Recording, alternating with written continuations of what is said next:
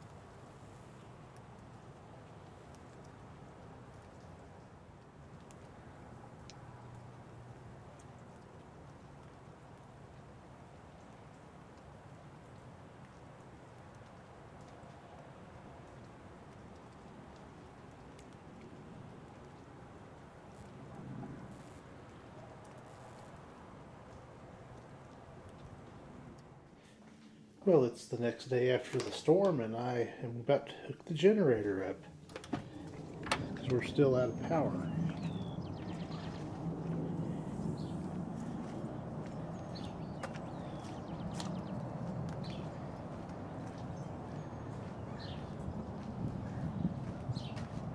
Nothing real bad happened. Just got a lot of twigs and debris but that uh, power line's still sparking and arcing this morning.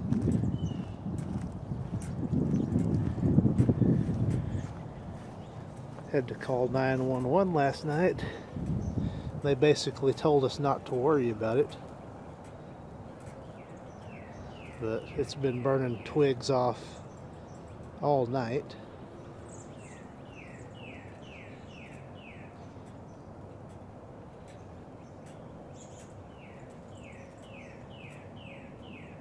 Yeah, don't worry about it. No big deal. Look at the chooch. Look at the chooch. So we'll come back if there's any updates.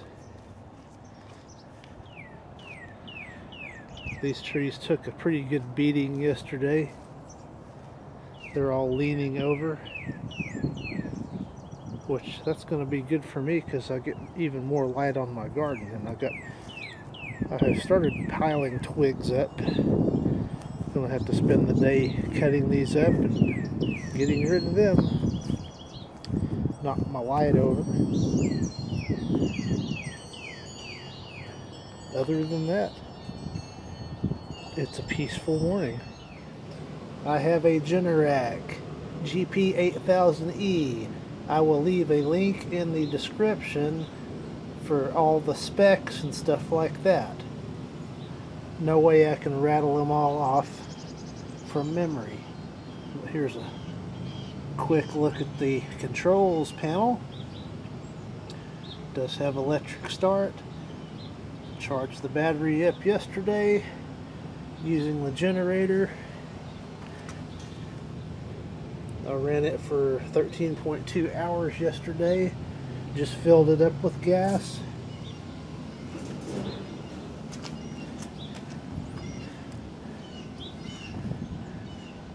It does have an abundance of warning stickers from one end to the other on the handle everywhere you can imagine.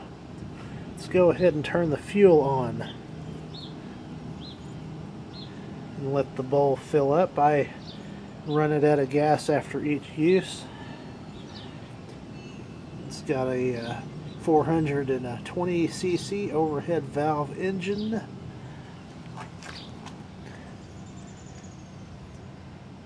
There's a look at this side, the muffler, all that good stuff. I'll get it into position and we'll get it started up. Set the choke.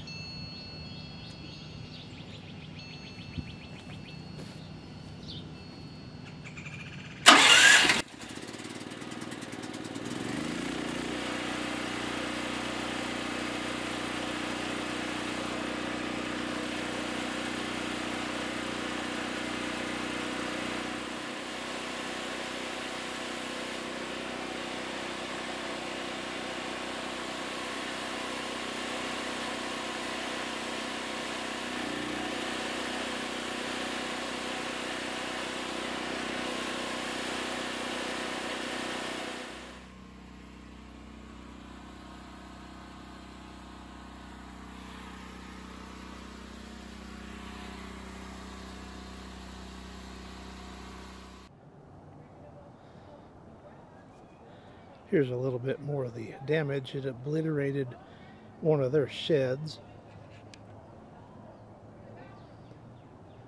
Hadn't been much work done yet. There's the roof of it right there. Still a lot of down limbs, but they're making slow and steady progress. And finally, the calm after the storm. We got power restored. The generator's all put back in its area fuel is drained all that good stuff so it should be ready to go next time. I need it. So once again this is the severe thunderstorm we had. Thank you for watching